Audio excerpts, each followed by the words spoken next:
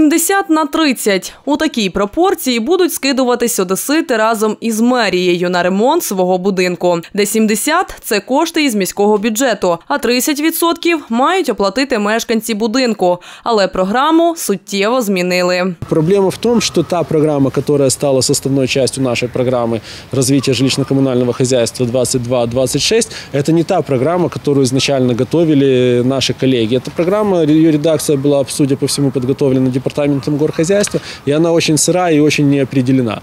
Якщо розробники програми включали всі види робіт з капремонту будинку, то на сесії депутатам подали лише два – ремонти з протипожежної безпеки та їх енергоефективності. В ній є ряд питань, які необхідно буде ще коректувати. корректировать и вносить изменения. Если мы сравниваем с нашей программой, где есть э, разбивка, например, лифты у нас 90 на 10, ремонт памятников архитектуры 90 на 10, у нас в нашей программе есть компенсация на документацию 50 на 50, чего нет в программе ДГК. Якщо ми е, за вашим бажанням е, вкладемо в цю програму всі роботи з капітального ремонту, то це почнеться хаос. Програма співфінансування – пілотний проєкт. Втім, у неї вже бажано внести корективи. Їх озвучили на сесії. добавить как минимум капитальные ремонты по всем видам инженерных сетей, а в, а в будущем и по капитальным ремонтам, прописать критерии отбора домов участников и дать возможность уча- участвовать в программе «Домам ЖСК».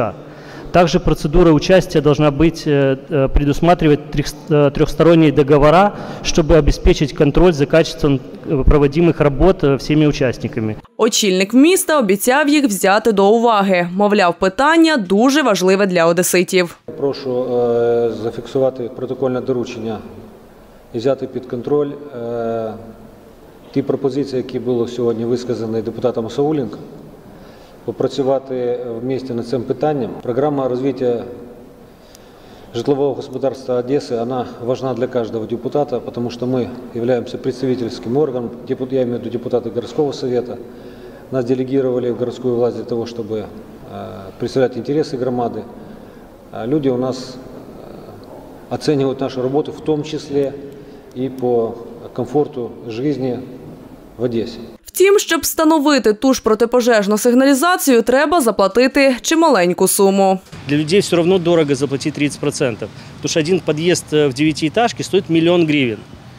И сделать просто предупреждение от пожара будет стоить людям 300 тысяч. Зараз співфінансувати зможуть тільки будинки ОСББ та які обслуговуються ЖКСами. Кооперативи туди не включили. Втім, у будь-якому разі можна спрогнозувати, що якість робіт покращиться, бо раніше жителі суттєво не могли вплинути на роботи, які виконувались за рахунок міськбюджету. А зараз, коли залучені і їх кошти також, пильно контролюватимуть проведення ремонту.